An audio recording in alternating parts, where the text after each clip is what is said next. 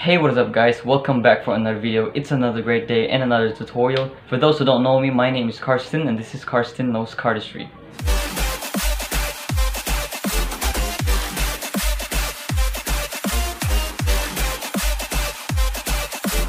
Alright, so last time when I posted my latest video, I scanned my older videos comments, but then I saw these two comments right here, which gives me an idea to make a tutorial for the variation of the Werm by Dan and Dave Buck. Now for those who haven't know the Werm yet, there's a link in the description below where Dave Buck teaches you himself his move on Chris Ramsey's channel. Now the first thing I want you to do is to watch that video, learn that tutorial first before you come back here and learn the variation, okay? So without further ado, let's watch this.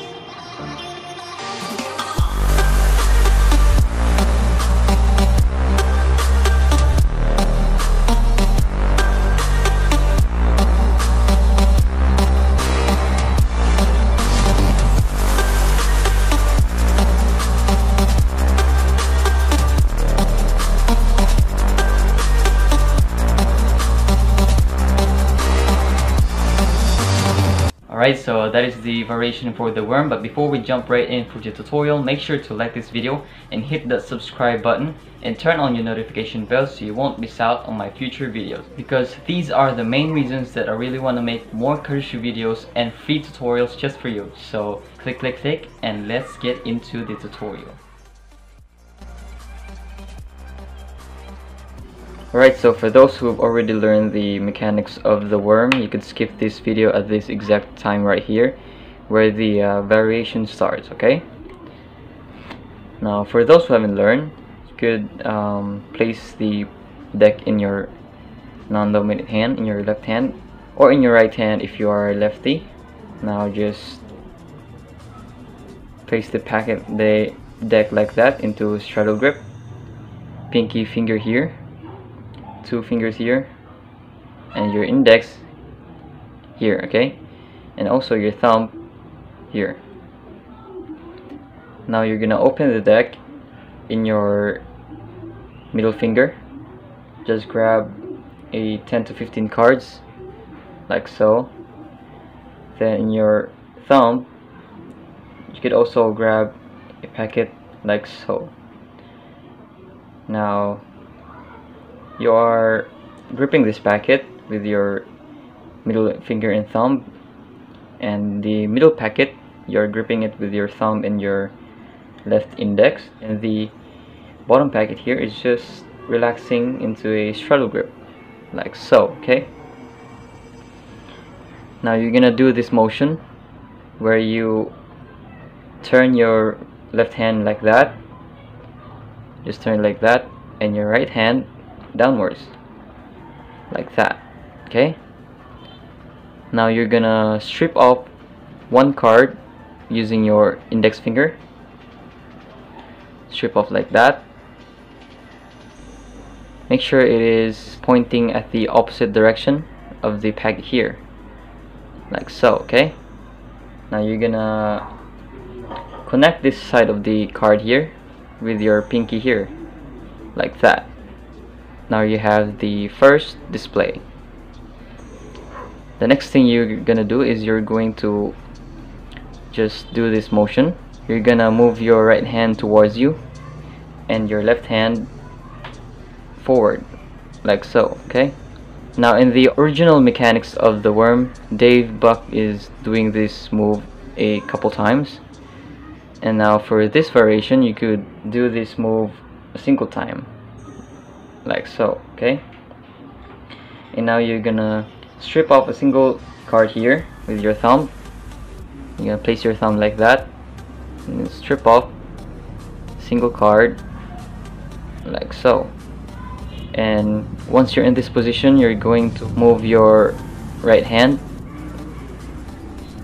Make sure that you place the single card slightly in the middle like that okay so that when you turn this card here it goes in the middle. Because if you place this card here with the corner of the card this would happen like that or it could just fall out. Okay? Again straddle grip then Z grip like so. And then move your both hands into opposite directions and then strip off one card and place it in your pinky. Place your thumb here and strip off a single card.